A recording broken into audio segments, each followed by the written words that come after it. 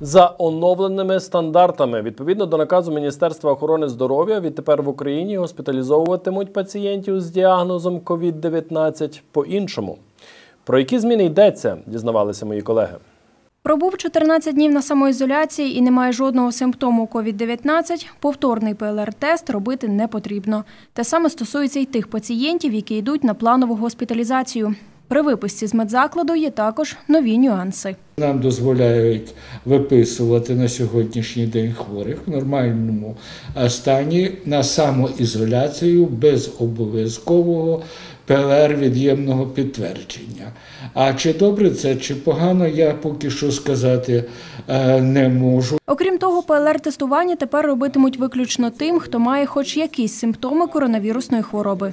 В такому випадку звертайтесь до сімейного лікаря. Сімейний лікар відправляє відповідно мобільну бригаду, яка робить ПЛР-тестування.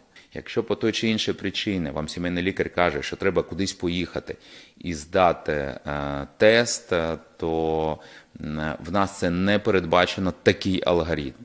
Сімейний лікар повинен відправити вам, якщо він чує від вас, що у вас є симптоми коронавірусної хвороби, мобільну бригаду. Держава за це заплатила. Також у наказі Міністерства охорони здоров'я оприлюднили й новий список медикаментів, якими потрібно лікувати хворих на коронавірус. Проте в Івано-Франківській обласній клінічній інфекційній лікарні кажуть, ні самих препаратів, ні грошей на них немає.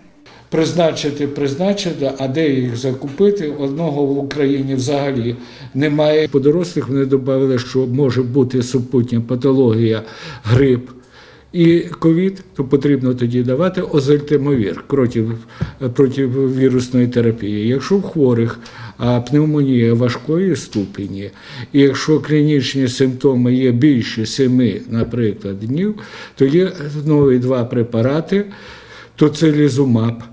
А вартість, е, чесно кажучи, одного флакона препарату а, 13 тисяч. Нині в обласній клінічній інфекційній лікарні реанімаційне відділення перенавантажене. Проте кількість хворих, додає гендиректор Роман Остяк, зменшилась.